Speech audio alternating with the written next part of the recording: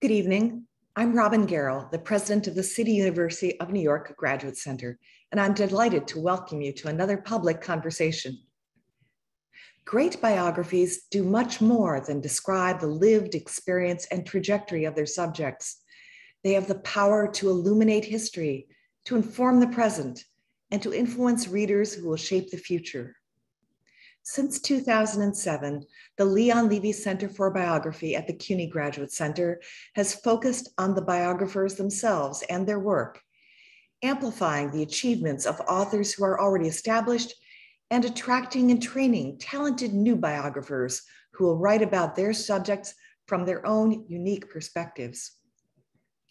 Tonight's discussion will center on a new book that examines many dimensions of one of the most influential people of our time, a person whose life is too wide ranging and multifaceted to be captured through just a single lens.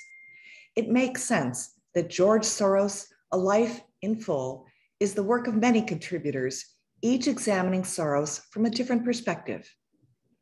At the Graduate Center, we welcome this approach. Our students and faculty are known for their interdisciplinary scholarship and collaborations, our classrooms and degree programs, including our master's program in biography and memoir, actively invite participation of diverse voices.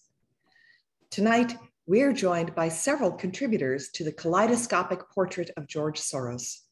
To welcome our panelists, I'm pleased to introduce Kai Bird, winner of the Pulitzer Prize for Biography and the executive director of the Leon Levy Center. Kai? Yes, good evening. Thank you very much, Robin. Uh, my name is Kai Bird. I'm the director of the Leon Levy Center for Biography, a wholly unique institution uh, hosted by the Graduate Center of the City University of New York and uh, founded by Shelby White and the Leon Levy Foundation in the year 2007. Is my video started? Yes, okay. Uh, Anyway, I want to thank Shelby for her steadfast support to the Biography Center. It is her vision that makes this program possible. Please note that our next event will take place on Tuesday, March 22nd at 6 p.m. when Professor David Nasaw will lead a roundtable discussion on radical biographies. Please mark your calendars and register for this event on the Leon Levy website. And please encourage your friends and relatives to subscribe to our digital mailing list on our website. But tonight we are gathered for yet another roundtable discussion, this one focused on the life and career of George Soros. Uh, the discussion will be guided by Peter Osnos, the editor of a newly published volume of biographical essays entitled George Soros, A Life in Full. Osnos will be in conversation with three of the contributors to this collection, Leon Botstein, Eva Hoffman, and Sebastian Mallaby. Peter Osnos is the founder of Public Affairs. Before embarking on book publishing, Osnos had a long journalistic career, starting out at I.F. Stone's Weekly and ending as a senior editor at the Washington Post. He is the author of An Especially Good View, Watching History Happen, a delightful memoir published just last summer. Uh, so please look for all of these books at bookshops.org, a site that will lead you to your local independent bookstore. Our panel, panelists will be in conversation for about 45 minutes, and then we will take questions from our virtual audience. Please click on the question box below to type in your questions, and Peter will be sure to get to as many as he can.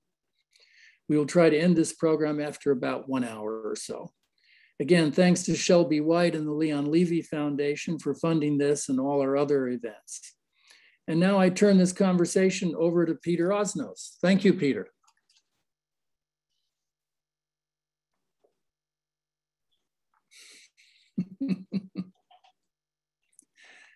Peter, you're, you're still muted. There you go. Yeah, nope, nope. No, you're still muted. Click on your the lower left hand. Mute. Mic. How's that? Yeah, you had it. There we go. Good, good, good. Excellent. You know, you know how fond I am, Kai. We've talked about this a lot. How fond I am about these Zoom. Uh, apparatus side. It's a new world, and we have to engage with it virtually. Well, George certainly would if he had to. Uh, in fact, that's one of George's many attributes. He has learned how. Now we want to be sure that uh, Leon, are you there? I'm here. Right. All right, we've assembled. And what, what's really quite remarkable, and I suppose the upside of this is that uh, Leon's in at, at, Bard and Eva is in and and Sebastian are both in Europe. Um, so really, it reflects the sort of global reach that uh, George Soros represents.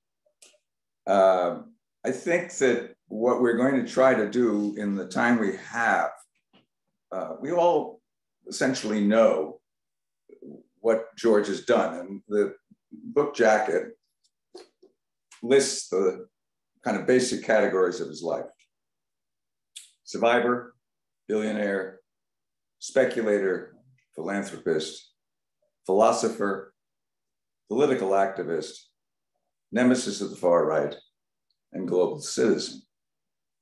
And it was our judgment that rather than try to have one person embrace so much we would go to people who have really deep knowledge of understanding of the various aspects of, of George's life and, and of the people we've uh, asked to contribute and have done, uh, in my humble judgment as the editor, a marvelous job. We have three this evening.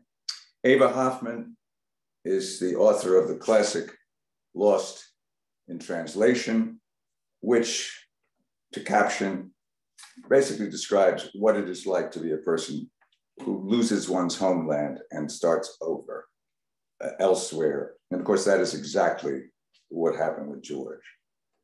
Sebastian, who is uh, the author of recently published The Power Law about the history of, of, of VCs, and is in fact a leading writer on matters of finance and so on and Leon Botstein, who is the president of Bard, leading orchestra conductor, and a man who, among many, many other things, knows George really, really well. Uh, the book is made up of those essays. And what I'd like to do tonight, very briefly, is ask each of the three of you, Eva, Sebastian, and Leon, a question which will help uh, the viewers understand exactly what it is you've done in your book. So Eva, George says, I'm going to call him Soros. I keep trying to remember that his name is Soros. I know him, you can call him George, but that's not appropriate when you're doing something like this. So Soros always says the most important year of his life was 1944. He was 14. The Nazis were in Hungary where George and his family, where Soros and his family lived. What he says is that 1944 gave him a capacity for handling risk, danger, that has served him really well in so many other ways. So, Eva, first of all, welcome and thank. Can you express to us in a tight way what it was about 1944 that made George the person he became. Right, I will try. Well, I mean, you know, the the the, the uh, great fact to know is that uh, this he was 14 uh, in 1944, uh, and this was the year when the Holocaust really arrived. The Nazis arrived in Hungary and the Holocaust arrived in Hungary. Uh, George and his older, Soros and his older brother were in hiding with his father. Um, and, you know, George had always said that he was, you know, protected from danger by his father. He trusted his father implicitly and completely. He adored his father. Um, so in a way, he felt protected from danger. But you know, he also said, and we were on the side of the angels, and this was, you know, quite important. They were on the right side morally. Uh, he also learned um, how to he learned that he could cope with danger. And, you know, he was in some very risky situations uh, in which he behaved with, you know, great sort of coolness of mind and, you know, and, and, and great um, uh, really bravery. Um, it, you know, and he he saw both the the Holocaust, the arrival of the Nazis, and towards the end, the arrival of the Russians, who perpetrated their share of atrocities. Although you know they were the supposed liberators, they were the liberators from the Nazis. Uh, so it was, you know, it, it was a, a, kind of adventure for a 14 year old young man. Uh, it was an adventure. Uh, and it, you know, it was a time during which he saw his father, you know, handle various kinds of decisions, various various kinds of risks, um, it, with sort of you know informed trust in his judgment. Uh, Tivadar trusted his judgment implicitly, and he actually rarely made mistakes but it was a judgment, you know, informed by a lot of experience, a lot of historical experience, a lot of human experience. Um, so, you know, in a sense, George uh, learned this as well. Uh, he, and he learned how to handle risks uh, he actually also learned something about financial speculation uh, or fi fin finances in any case uh, during the period of the Russian occupation when they were out of hiding. Uh, and when he was um, a, recruited by somebody to exchange uh, the Hungarian currency for a better currency for the dollar probably. And he saw that there were two different places in which the exchange rates were different. And this was you know very uh, very informative. Uh, but you know in a sense he learned how to trust his instincts how to trust his judgment how to trust how to make instinctive and quick decisions uh, which always were also, you know, very ethically informed. Um, and I think, you know, we can see the influence of this in his later career, for example, in the way that he handled the Open Society Foundations and the way that he, you know, um, entrusted the running of the Open Society Foundations to the people in the various countries where they were sited, but he trusted his judgment in assigning it to the, you know, to the particular people. Um, and he trusted them to know how to take uh, risks. And as far as I can tell, Sebastian uh, from USA, he also took enormous risks uh, in his financial career. And well, that is exactly where we're going to go right now, Eva. Oh, okay. Um, Sebastian, uh, Soros calls himself a speculator, um, which in most people's judgment is not an encomium. Uh, he's also, I think, the originator of the hedge funds. And certainly that is the thrust of your essay. And what is a hedge fund? It's, it's, it requires a capacity for handling risks, danger, and analysis of a certain kind.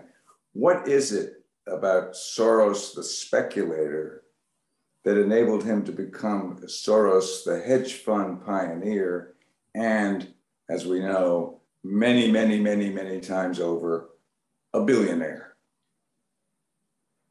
I think he had three qualities, Peter. Um, which set him up to be a wonderfully successful speculator. Um, the first quality was that he had a global outlook, you know, coming from the fact that he'd grown up in Central Europe, he spoke French, he spoke German, he'd gone via London to the United States. So by the time he began to trade, most people in that time in a world of capital controls traded their own countries. They didn't trade across borders he from the beginning had a different view, and that made him distinctive. Um, the second thing he had was a view that markets are not actually efficient. His coming of age as a speculator coincided with the ascendancy of the efficient market hypothesis. Um, the 50s, 60s, and 70s were when that view of financial markets that basically they incorporate all the information that there is out there already. So to beat them, you probably have to be lucky. Uh, that sort of high watermark of that view of finance in academia was exactly when Soros, by his practice, was proving the efficient market hypothesis to be wrong. Uh, so he came at the whole thing with the view that far from equilibrium prices were actually to be expected. And again, that marked him off from others.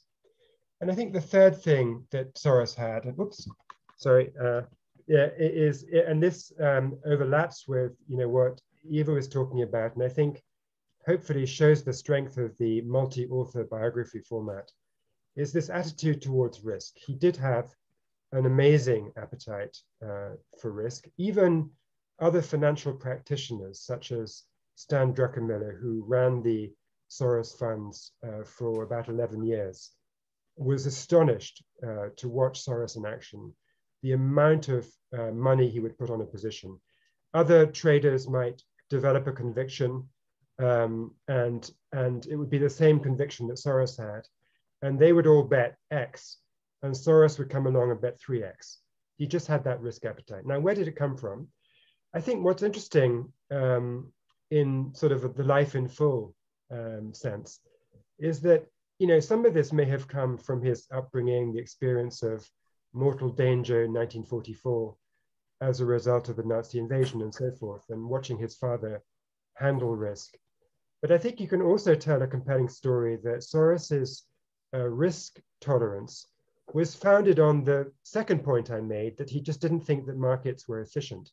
He came at markets under the influence of Karl Popper, the uh, LSE based uh, philosopher who was a big influence on him when he studied and on his later attempts at philosophical writing.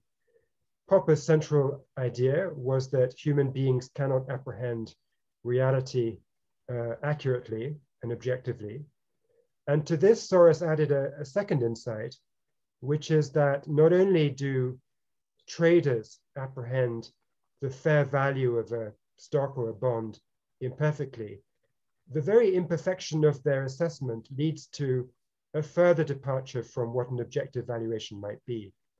So for example, if people are unable to perceive the correct value of the stock, they come to a view that it's extremely valuable because it's going to go up because the company is going to do well. That flawed perception, uh, let's say it is flawed for the sake of argument, that flawed perception will actually be self-fulfilling and then the stock will go up and then more people will get excited. And so the whole thing goes further and further from equilibrium. And so to him, when he saw something that looked as if it was a very inefficient price, he was willing to bet more than other people because it wasn't a scary anomaly it was actually a confirmation of his basic view derived from Karl Popper that you should expect completely out of whack prices. So I think it's, it's interesting just to layer on the 1940s Hungary experience with the Karl Popper derived philosophical outlook to come at two ways of explaining that risk appetite. And, and the thing is that Soros had less of a strategic vision excuse me, than an instinctive one, uh, which is really quite remarkable. Uh, he wasn't following anybody's game plan other than his own. And, and Leon, I would say that as George is world famous, and the great majority of the people who've heard of Soros know that he's also the target of really extraordinarily vicious attacks and conspiracy theories about his influence and his role in politics, and uh, you know he's conceived as some kind of ogre of the left, and uh, Soros himself, is, I would say, has handled this with extraordinary uh, equanimity. Wasn't crazy about the fact that somebody put a bomb in his mailbox, uh, but this relentlessness of the attacks, even during the Ukraine war, a state senator in Arizona announced that the real, the real culprit in the war was Soros and the Clintons. They were the ones responsible for the war. And uh, so, Leon, knowing Soros as well as you do, and knowing the sort of whole basis of his mindset, what was it that made George this extraordinarily, extraordinarily uh, sort of vivid target of people on the far right? So, uh, Soros fits into a very familiar um, model, uh, and that is of the super wealthy Jew. So the Jew viewed in the European and the American lens is not truly a member of any of the nations that we think about. Polish, Hungarian, German. It's a, um, a construct of a cosmopolitan person and the extremely wealthy Jew, be it the Rothschilds, Bernard Baruch, whomever you want to think of. Um, there is this notion, which was made very popular in 1903 by a forgery called the Protocols of the Elders of Zion, the idea that there are these few Jews or these internationalist cosmopolitans, and they are come kind of puppet masters. And in our time, George Soros fits this stereotype uh, to a T. Um, it, it, was a, not a new theory. It was um, it was made popular in the Russian Empire, particularly in 1903, this forgery, and is world distributed now. So he um, he is the one person who fits this model uh, absolutely, both for domestic American politics and internationally. We, we, have to consider who is Soros. Soros is probably the most influential private individual in modern history most influential private individual. Not because he's rich, but because he devoted so much of his time um, to, um, to political issues, and also, uh, as uh, Sebastian pointed out, also because he was a, an innovator in the whole world of finance. You know, I think of historical, he's kind of the Marquis de Lafayette of our time, but um, the Marquis de Lafayette wasn't a French aristocrat. The important thing about uh, uh, Soros um, is that um, I think uh, he developed early, as Sebastian and Eva pointed out, a sense of impermanence, that the world is not about permanence, just as about markets are not about equilibrium. There's nothing permanent, and that the world is imperfect. The one encounter, he may think the 44 was a great year. I'm not so convinced his own version of this is accurate. But what he discovered is owning property, an apartment, your jewels, your family portraits, all the things we identify with permanence and stability are in fact not stable and not permanent. And they're not important. He was able to take risks because he's not afraid of being poor. He's able to take risks because he doesn't consider, as most of us do, the things we accumulate to be symbolic of the permanence of the world. Property in the end isn't important money really isn't important. And by the same token, he learned that the things we think are conventional values about normalcy, the idea that there's something normal out there, call it friendship, common sense, um, following the crowd. Um, what he learned is actually to do the opposite, to uh, consider that um, these things are um, need to be critically looked at, um, and they reinforce themselves in ways which, uh, in fact, end up often in disaster, such as populism. And finally, the most important thing about it is that the survival gave him an enormous commitment to two values personal autonomy and independence, and freedom. The idea that uh, the world and individuals uh, deserve um, uh, both freedom and rights, and uh, that um, in an unstable and impermanent world, you have to defend those who can't defend themselves, that the inequalities in the world uh, create um, cruelties and injustices which have to be um, um, fought. And that it is the arm of the state, whether it be Nazism or communism, and now let's say Putinism, that these kinds of despotic uh, controls over individual lives uh, have to be fought. Uh, that um, and uh, uh, he is motivated by those ideals. So the combination of a willingness to confront the impermanence, the imperfection, and the fact that things we treasure uh, are things that we ought to think about being able to let go of um, is all this is in the service of trying to create a politics uh, that actually um, is centered on personal freedom and autonomy. Excellent. Let me uh, try it just very briefly to summarize the sort of backstory of the book. Uh, it was the summer of 2020. George was turning 90. Ordinarily, there would have been a, a significant celebration of one kind or another.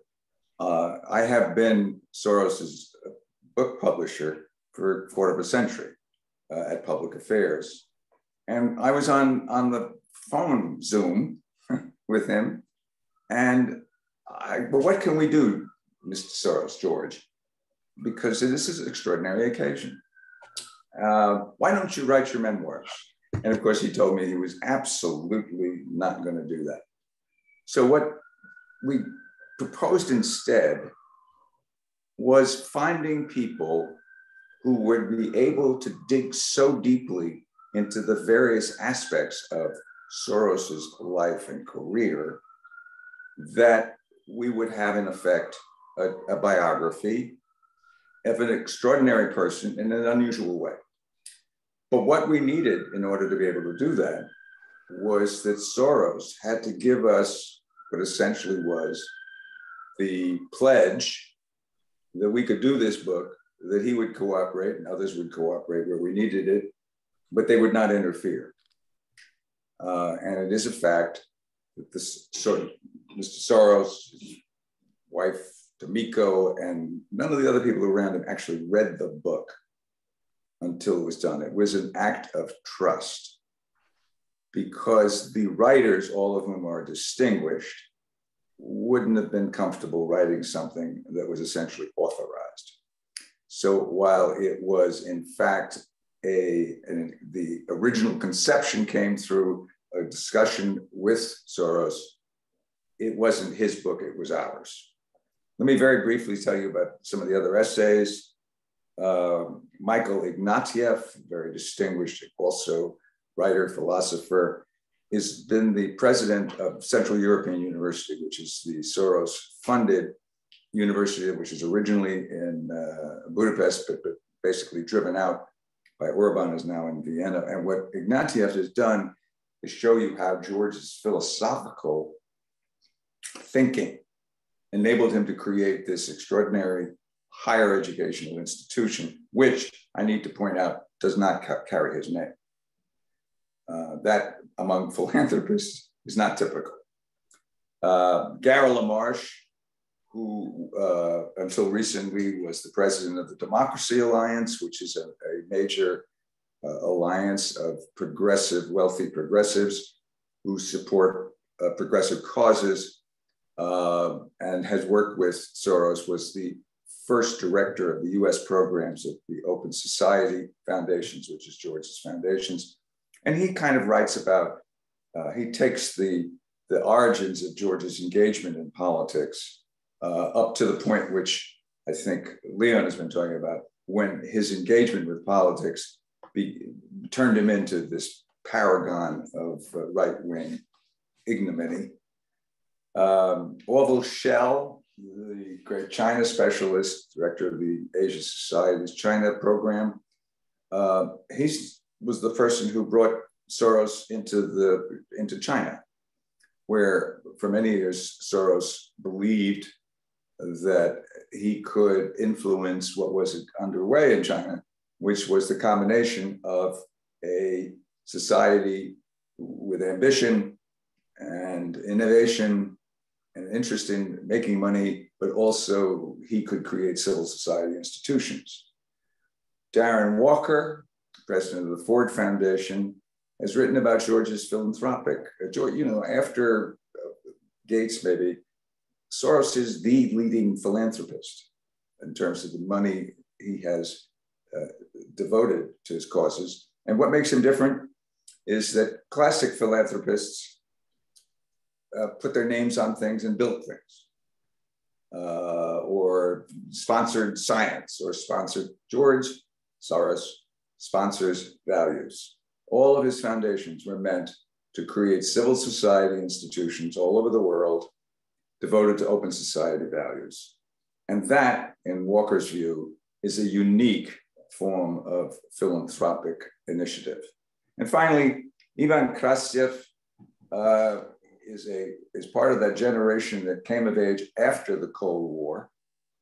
And I would say, in summary, what he writes about, uh, he's from Eastern Europe, Bulgaria, and what he writes about is the arc in which the early optimism or the hopes that the dissolution of the USSR would create a whole series of model democracies out of the former Soviet republics.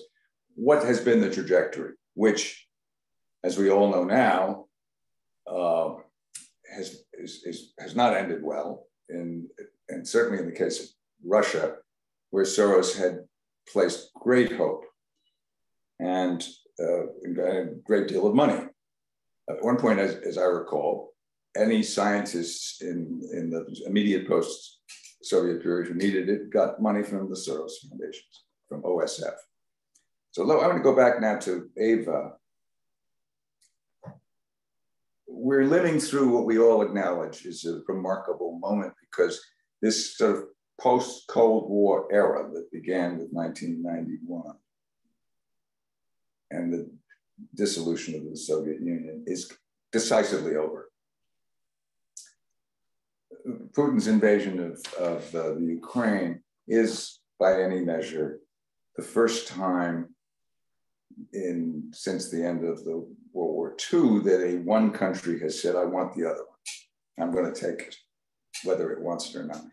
One of the things that's very interesting to me, Eva, and you know so much about the Central European mindset, why do you think it is that Putin views Ukraine and these other places, other countries, Poland, Hungary, as belonging to him?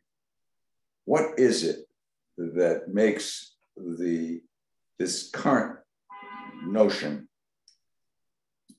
which so defies the Soros concept of open societies and democracies, what is it that is, can you imagine, drives Putin? Not sure that, you know, one can have complete insight into the mind of Vladimir Putin.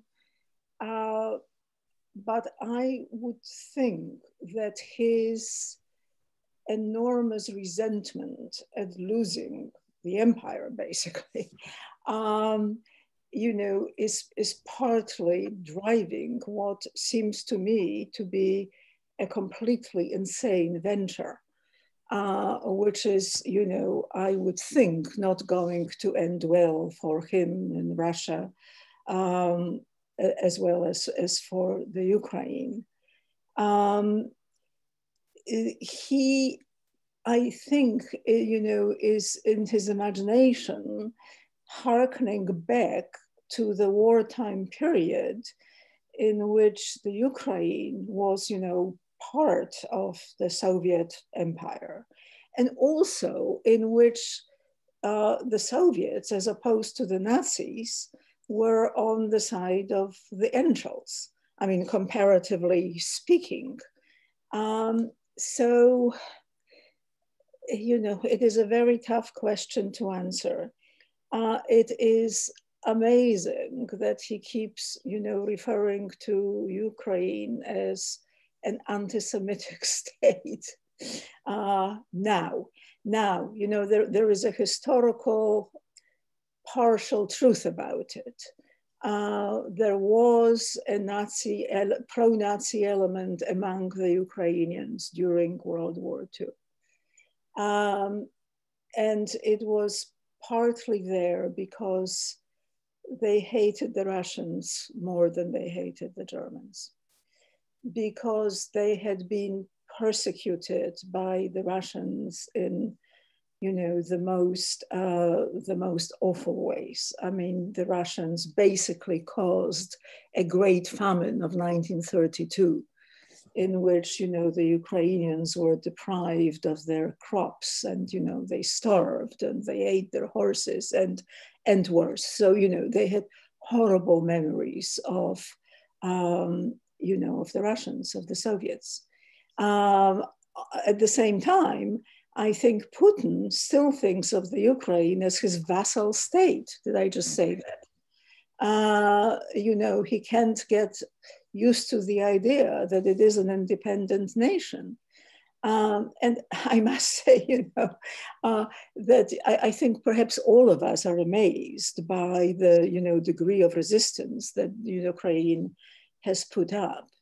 Um, so you know, I think all of this is. Let, is... let me then, thanks, but let me bring it back to a bit back to the question of who, how George Soros became the person he is, because what's striking to me in the way that Soros thinks and writes and so on, and so many people like him in that part of the world their memories are very indelibly marked by the centuries of Russian domination, of anti Semitism.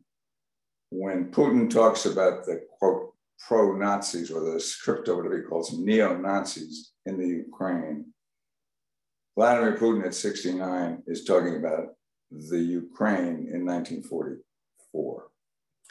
And that's his justification. Sebastian, the nature of this invasion is to completely upend uh, Russia's economy, uh, in which Soros at one time actually did a great deal of investing in trying to make the post Soviet Russia into a major player on the world financial stage. What do you think is going to be the impact on Russia uh, now of the, of the invasion and the consequences.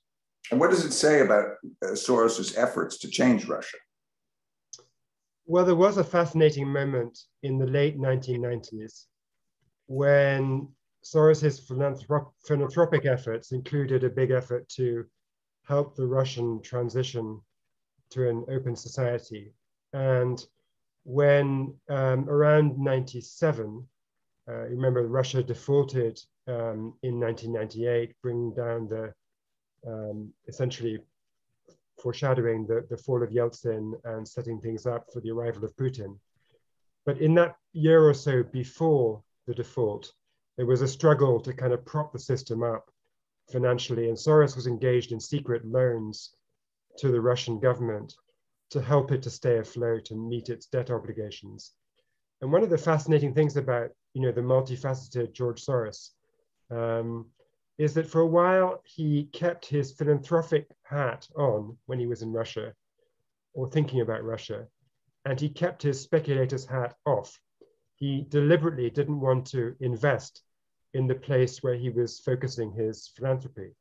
And by the way, he tangled these things up or separated them at various times in sort of unpredictable ways when he was trading in uh, East Asia during the Asian financial crisis. You know, in Thailand, he was happy to make a lot of money by going short the currency and predicting its collapse.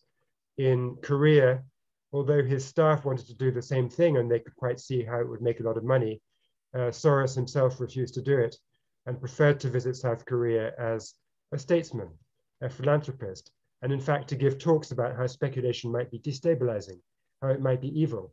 And so there was always this fascinating sort of, you know, multiple persona side of George Soros, which makes it fitting that we have a multiple author uh, volume here. But going back to Russia, um, there was a moment in 1997 when he sort of cracked in this discipline that he had not to go into Russia as an investor. And he became part of an, a consortium which put money into the state-owned company Svyazinvest. And what's amazing about it is that, of course, the premise for investing in a state-owned company in 1997 has to be that the ruble is not going to collapse, the political system is not going to collapse, the financial system is not going to be in the tank. And he did this, and he did this investment, even though with his other hat on, he was the philanthropist secretly propping up the finances of the Russian government. So he knew perfectly well how frail it was. And when he's tried to explain in his own writings how it was he came to put, you know, his his financial traders war chest into a trade that, as a philanthropist, he knew was likely to go wrong. He has this most, I think, strange and fascinating explanation about how, if he only had been a philanthropist in Russia, he would have been a sort of disembodied intellect, a kind of messiah figure on high. These are not my words, these are his words. And he had to descend from the mountaintop, again, his words, and become flesh and blood by investing like a normal rapacious capitalist is expected to do. And so he almost came down from the mountain, as it were, like a, you know, like a saint to save the sinners. And uh, the result was that he lost that investment in Svyazinvest and it went horribly wrong. But as far as I can tell, um, he is never minded about that. The people who did mind were the people working for his hedge fund, who then had to go and clear up the mess of his ill his ill-conceived investment, and it took them several years to get out from that hole. And and and Leon, I'm going to slightly curveball you a bit because I was going to ask you about what the implications are for post-Cold War world, but you know, I think I your relationship with Soros, personal, professional, is extraordinarily deep. You are yourself of a Central European background. You are yourself and a very innovative intellectual and an entrepreneur in, for example, what you've done with Bard. Tell me what you think is the way you confront Soros as a both as a friend and as a, as a as a professional or whatever the proper term is. How do you how do you confront deal with Soros and get things done, given the strength of his character and, if I may say so, the formidable nature of yours? So, Peter, if I may, I'm happy to answer. It's, a, it's just there's a simple answer. I just want to amplify something you said. You so uh, Soros uh, did in the 90s uh, create a fund of 100 million to support the infrastructure of Russian science. Something that is interesting is uh, George is not the prisoner of history; he rethinks it.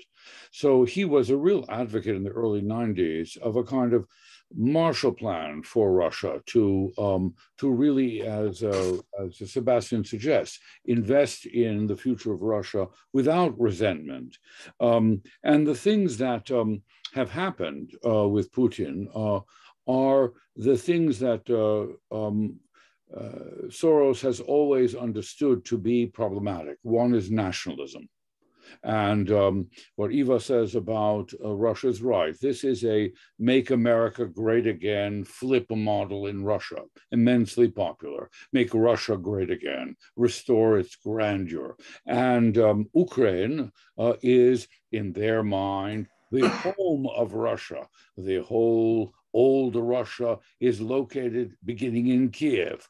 So the idea that this is their place um, seems a kind of natural argument, and that Ukrainian nationalism, um, which has a long history, um, is something that uh, these national sentiments is paralleled by an extreme right-wing Russian nationalism that has an unhealthy relationship also with religion with um, the church and, and the, um, the support that the church provides to Putin.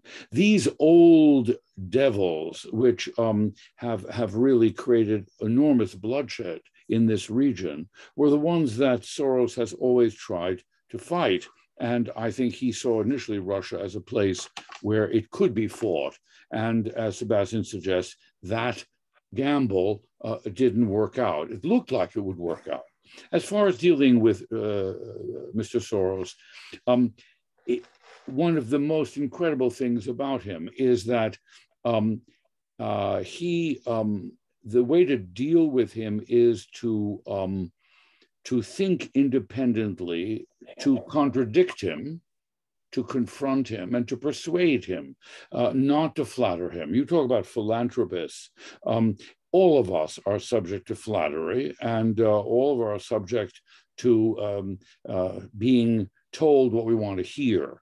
Um, the way to deal um, effectively with Mr. Soros is to foreground the ideals that motivate you and your reasons, and also not be afraid to contradict him, to suggest that what he's saying, um, he has always liked a good argument, a good debate. Uh, and he's one of the few people I've known of, of success and authority who's willing to change his mind and to admit that he was wrong. How many people have you met who are willing to say, you know, I've been arguing this. Now that you this, you might be right, I might be wrong. So it is um, what he is. He's constantly thinking and constantly uh, questioning.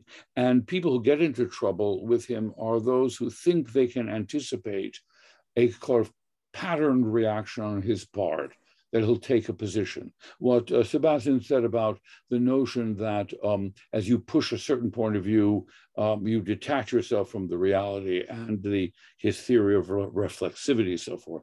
So it is the independence of uh, your opinion and your willingness to get into an argument and even lose that argument, and um, also with the chance that you might win it.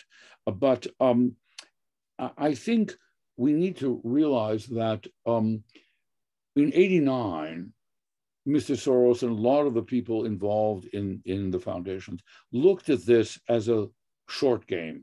The open society, we assume freedom is something that people want, autonomy is something people want, um, diversity is what people want, dissent is what people want. It's not the case. Authoritarianism has a huge um, uh, popular base, conformism. People resent people who are different. People resent exceptional people. Um, and there is this resentment, we hear it all the time, of elites.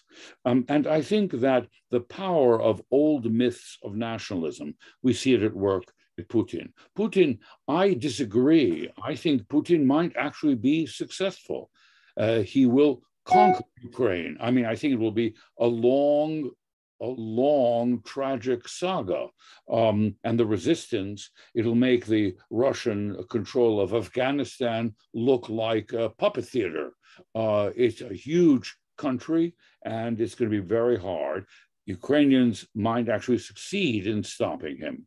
But the, the, the idea of reconquering uh, an empire is wildly popular. Uh, Hitler got away with it in the 30s. And um, uh, and uh, Putin might very well um, get away with it um, uh, in a uh, in an unspeakably cruel uh, and um, violent way. Uh, Leon, I, I'm, I'm, i know we're fight, supposed to go to we're supposed to go to questions. Yeah, I just want to say the want... fight that he has engaged in is a much tougher one than even he realized. Right. I think we would all agree, and we would all wish Putin ill.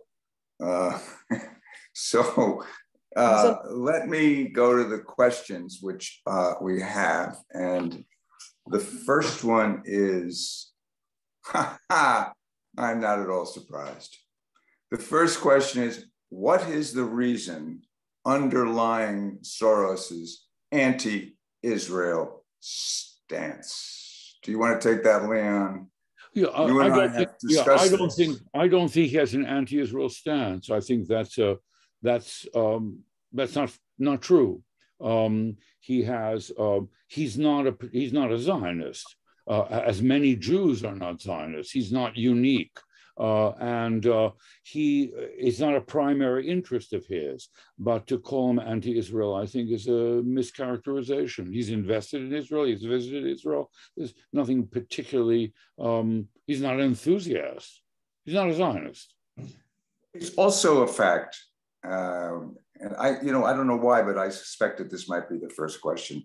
There's a kind of default um, often in the assumption that Soros's motives are negative, uh, that he's anti this, he's anti that. I can tell you, having known him pretty well, not as well as Leon, but known him for a long time, he's deeply aware of his Jewish origins. He's deeply aware of what it meant to he and his family and to all those around him to be a Jew. He understands that the Hungarian um, attacks on him are, are anti Semitic. But that doesn't mean that he looks at Israel and says anything it does is something that I have to approve of. There's nothing in Soros's personal background which suggests that he goes along just because he has to. Uh, the next question comes, I would say, rather dramatically from Shelby White, without whom we wouldn't be having this conversation. And she says, What does Soros think about the current situation? And she wants me to direct it to you, Leon.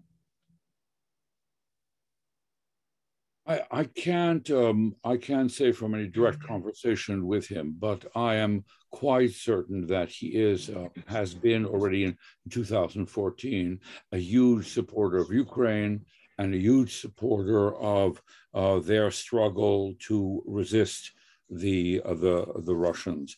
Uh, the one thing that I think um, is included in Mr. Soros's concern is what how to help the dissenting Russian community. One of the things we have to guard against is a kind of blanket anti-Russian sentiment. And there are large numbers of, of, of Russians who are horrified uh, and are in a, in a police state in which their lives are at risk. So I think that's probably not only the support of Ukraine, but also the support of um, the um, let's call it the liberal dissenting segment of, of the Russian intelligentsia and population? Uh, I am quite sure that he has uh, issued uh, statements in the last week or two uh, that could be easily found online. Um, I think what Leon says is absolutely right. His interest in Ukraine, particularly after the Yellow Revolutions, Maidan, and so forth, was profound he became a really major supporter of uh, of the democratic reforms in uh, in Ukraine. And, and, they they have they have uh, Open Society have has personnel there as well. Yeah, right. Um, and then the next is a very interesting question. It's from Mary Hyatt. Soros has has he succeeded in getting progressive district attorneys elected in the U.S. And if yes, have they improved the way defendants are treated? Uh, who wants to take that? And maybe it should be, well, I can take that. I think. I think one of the one of the misunderstandings of of uh, that one of the misunderstandings of Soros's political engagement is that it's all about presidential politics and Congress and so on. Um, and in fact, increasingly and with some success, the Soros political engagement is at lower levels. It's at the level of state and local government because of the belief that he has that what happens locally is very, very important, and particularly the areas that are of interest to him, like criminal justice uh, and, the, and the courts. So he's been extremely active uh, in supporting if I may, I don't mean to interrupt, but I, there's a very important information the public needs to know. There's the Open Society Foundations, which does not engage in direct politics. That's exactly right. And then there's Mr. Soros as a private philanthropist, as a private political contributor. Those are two separate uh, pockets, if you will. And I think what you say is absolutely right. Um, in the foundation, there's been a huge interest in the protection of people of poverty or people who are discriminated against and their access to justice. That's been a real focus criminal justice, defendants, uh, courts. And um, and the idea of a true uh, rule of law, and the foundation does that in a non-political way. He himself, as you point out, has in fact uh, supported candidates locally who have uh, those values of equal justice. That, that's a really important distinction, Leon. Thank you. Because the truth is, there's a tendency to lump everything Soros does into sort of one thing, which is, is not in fact the case. Open Society Foundations is a vast array of uh, interests and, and supports a vast array of issues uh, among you know, end of life uh, and legalization of certain kinds of you know, marijuana and so on. Things that would, would add to a progressive agenda around the country that have nothing to do, um, as I said, open society principles, uh, social justice, civil rights, human rights. And that's very different from the po directly political uh, ways in which he has been active through PACs and so on. And here's, uh, I think, the last question, which essentially goes back to the first. you know, I've been, do- I've been doing this with a cold and I, and I'm, I'm getting close to the end and so are we. Um, the, uh, it says, if I'm correct, Mr. Herbert Weller says, Soros has placed few resources into the Jewish world. Why? Leon? Well, the I think the reason is uh, simple. It's not his primary interest, uh, uh, and uh, he's not an active member of the Jewish community. Second of all, um, there is no shortage of philanthropists who are primarily interested in the Jewish community, and um, uh, there is no uh, reason that um, that he should. Um, he has invested philanthropically in places that other places wouldn't, other philanthropists wouldn't go. And we should be thankful for that. Why should everybody run in the same direction? I don't think he has any obligation active in Jewish philanthropy. Um, and uh, um, he has um, uh, done a world of good uh, without focusing on that. This is not a person who thinks in, if I may say so, tribal or uh, essentialist views of identity. He is a citizen of the world in the best sense of the word. I want to close by really asking Eva and, and Sebastian one final question. Having listened to this, both of you uh, have written in depth and with real insight on aspects of the Soros character and his uh, life and career. What do you think, Eva?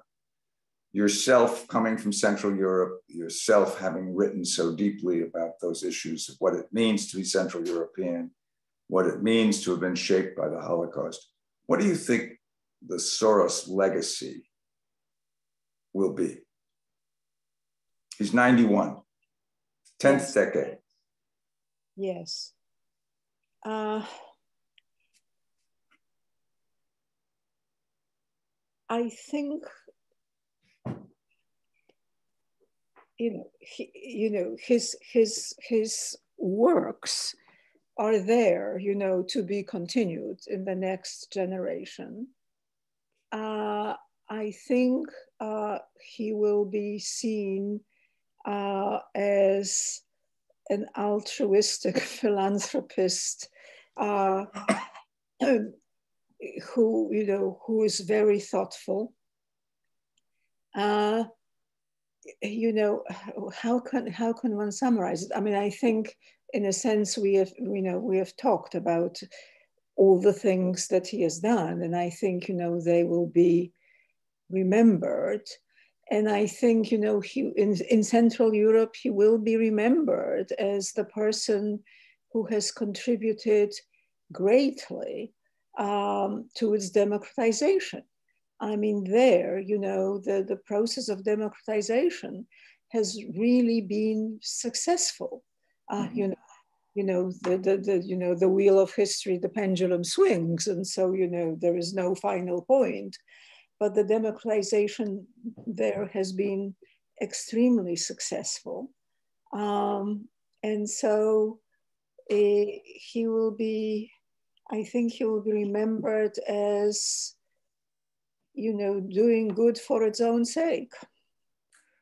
You know, and to make a to make a point there, uh, Eva, when Henry Ford created the Ford Foundation, no one would have guessed that 100 years later, the Ford Foundation would represent so many things that Henry Ford was opposed to. Um, and I think one of the amazing facts of the Soros legacy is going to be in the philanthropic and philosophical ways.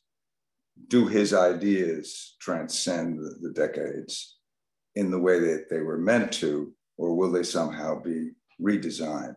And, and Sebastian, I think we're, we really are getting to the close here. Um, what about what he's done to finance? What about what he's done into the way, uh, you know, you've just done this wonderful book on venture capital. Um, and, you know, I think everybody on this call will, will, know what venture capital is. Yeah, it was the source of great deal of money into all the great tech places and so on. Um, what do you think Soros has done to the way we have we imagine finance and may we imagine wealth? You know, I find myself um, citing his example when people in finance ask me the question, will everything be taken over by artificial intelligence? Because there's some kinds of financial trading where you mine past patterns and look for the way that you know, those could be exploited for, for profit and you create algorithms which computers can be better at than people. But the type of financial speculation that George Soros mastered is the kind where I don't think artificial intelligence will ever do that because it's not about playing the game. It's about looking for changes in the rules of the game. That is, you know, how George himself would put it. He would say, I'm not playing the game. I'm looking for changes in the rules of the game. And that is a sort of almost Renaissance man kind of challenge. You have to bring in insights from politics, insights from economics. You have to understand central banks. You have to understand company accounts. You might have to understand political shifts. You might have to understand, you know, cultural factors. It's it's just a multifaceted um, thing which sort of defies algorithmic precision. And George Soros, without creating a big company, without creating an algorithm, generated extraordinary speculative profits over a period of 30 years or so. Uh, and, and it stands as a monument to the enduring influence of human intelligence in comprehending public affairs. I think that's, I think that would be the summing up of this entire effort as we've discussed it, which is the one thing you can say about George Soros, that he is a man, a life in full, a man in full, and very much a human in full, with all the aspects of humanity uh, that are implied. And uh, that is why I think his various accomplishments are remarkable because, you know, humans have their limits, and he's sort of been busting the limits in so many different ways. I think I can't really 100% tell, but I think we're out of time. Uh, Kai, is that the case?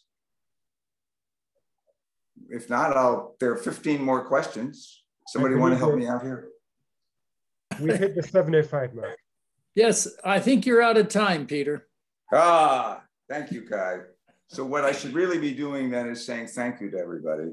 Um, and and to, to remind you that, that, that, there's a book involved here, and it's called George Soros: A Life in Full. It was published uh, by Harvard Business Review Press in in in uh, cooperation or collaboration with Platform Books, which happens to be the, the publishing company that I've created since PublicAffairs. And so it's, and I, I'm going to say there's a the show must go on concept to this. I'm going to go back, put my head in the, and, and, and, and take some hot soup. Um, anyway, thank you all for coming. And it was a very, very, very, very interesting hour as far as I'm concerned. Thanks. Bye-bye.